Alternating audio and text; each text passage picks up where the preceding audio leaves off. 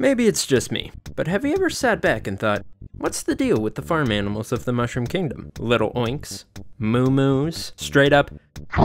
That's it, they're just called chickens, that's what they are. So you are telling me there's an established meat and dairy market in this universe. Is pizza ready, comrade? Yes, coming right up. Premier Gorbachev, Premier Gorbachev. You're not Rolly.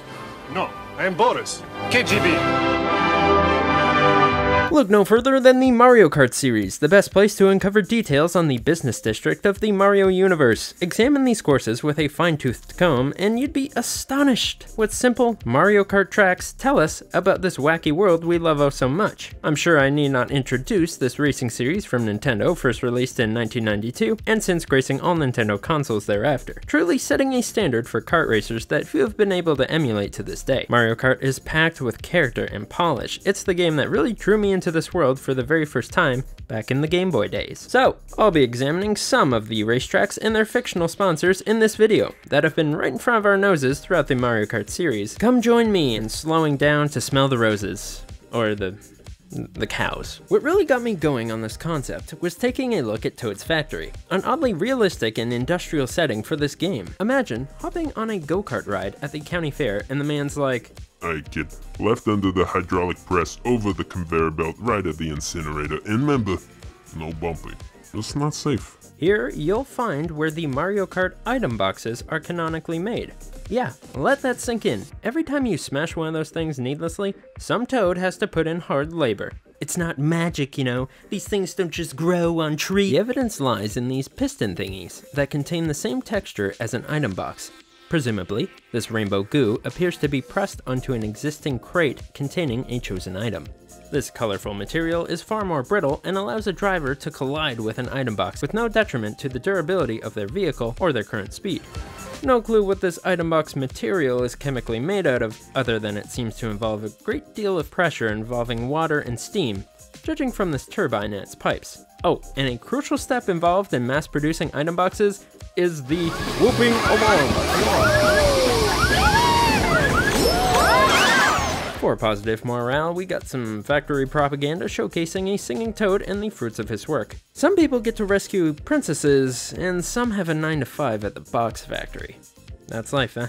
A section of Toad's factory also represents a sorting area wherein some item boxes are discarded and some are well, it kind of looks like they're both being discarded. I don't know. Maybe this race takes place during some sort of worker strike? Like, why the general manager Toad let them race in his factory, delay his supply line, and destroy the factory stock is beyond me.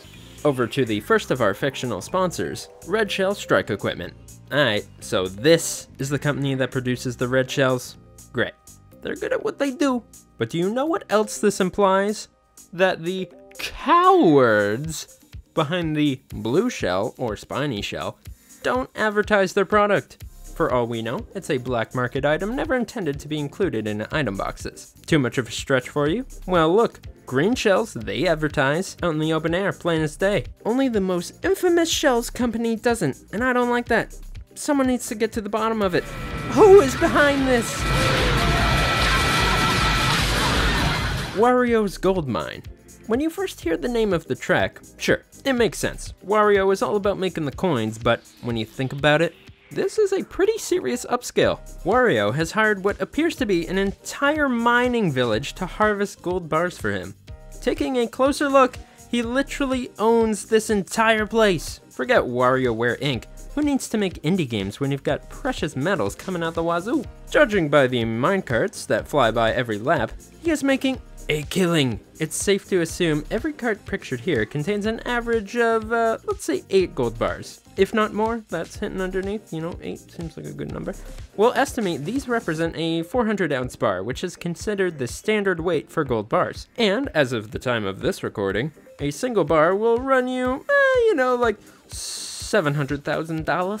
So, on a good day, a staff ghost is capable of completing a Wario's Gold Mine track with a standard cart at a time of 2 minutes 19 seconds.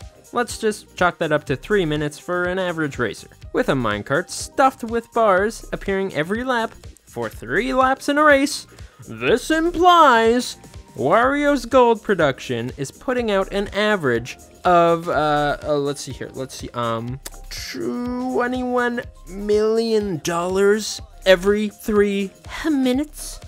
Mamma mia. And that's not all, folks. Wario has cranked up production to ridiculousness because here you'll find multiple minecarts on the track at once. Triple that dollar amount from earlier, and well, all I can say is that if Wario asks you to borrow a 20, now you know where to tell him to stick it. Sponsoring a handful of carts, Bowser's Oil. In a similar vein, does it surprise you that Bowser is an oil baron? I suppose it makes sense. He does have a penchant for decorative fire, and lava, and laser shooting statues. Does anyone else find that last one weird? Perhaps this is partially where the hostility between the rivaling kingdoms stem from. War over oil, perhaps? Something tells me that's a little bit too close to reality.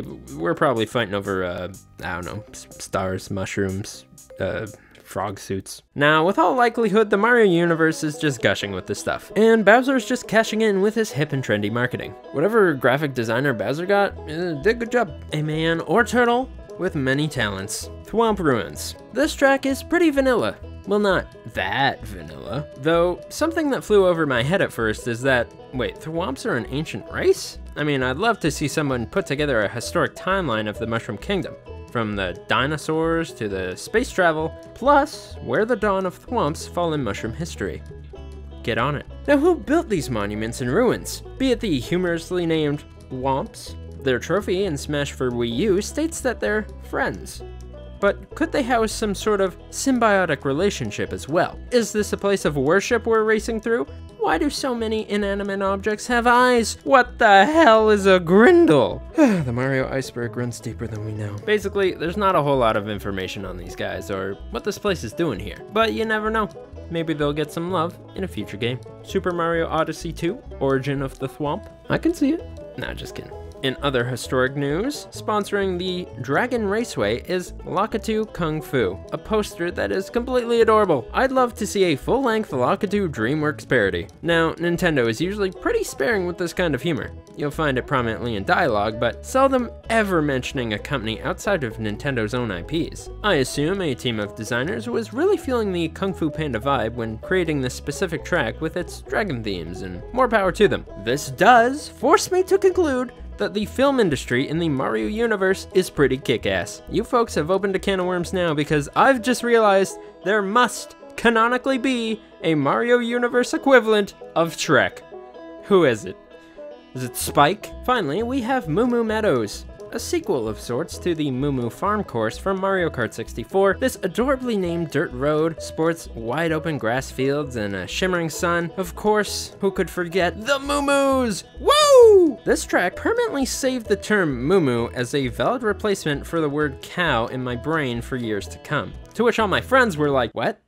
Are you okay? Well, take a look at Moo Moo Meadows Milk, advertised in Toad's Turnpike. Just looking at it reminds me of the Zelda Milk Bar. Milk and cheese, sure. Okay, but, um, there is steak in the Mario universe? Oh god, please tell me it's coming from a giant bird or something and not this. So, yep, the farm district of Mario seems to be much like our own, and it just got me thinking of how fun a Cooking Mama style Mario game would be. Super Mario Culinary, or you know, something better than that. Within the same cup, you'll find the sponsor of Mario Work Gear.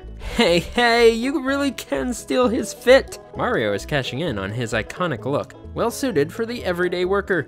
I imagine the day this line was released, the Mushroom Kingdom was looking like that one episode from Phineas and Ferb. You know the one. You have to give props to Mario characters for monetizing every facet of their life. Some Toad selling overalls, that would never work. It's the star power. See what I did there? Of the name Mario, that brings in the gold coins. All right, well, what's next? Uh, Mario housing. Oh, did that. Okay, now one final question remains.